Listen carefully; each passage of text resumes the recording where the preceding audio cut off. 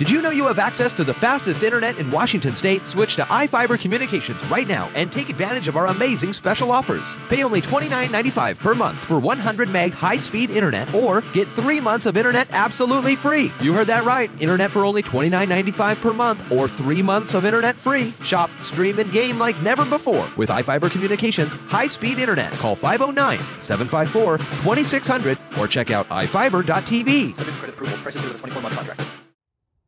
History was made on Wednesday night at the Grant County International Airport when Japan's first new commercial aircraft in decades finally touched down on American soil.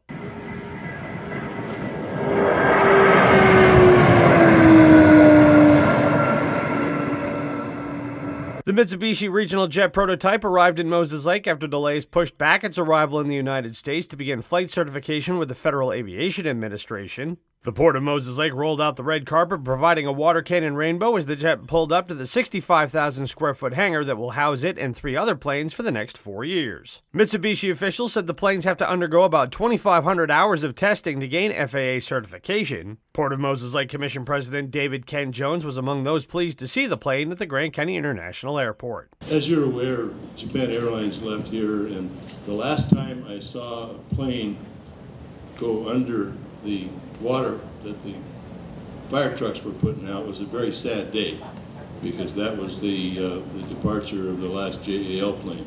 And I can tell you, it's a great feeling today to watch the MRJ come through there and uh, the, the work that AeroTEC and Mitsubishi, and every, I guess it's time for everybody to go to work for real now. We've just been practicing to this point.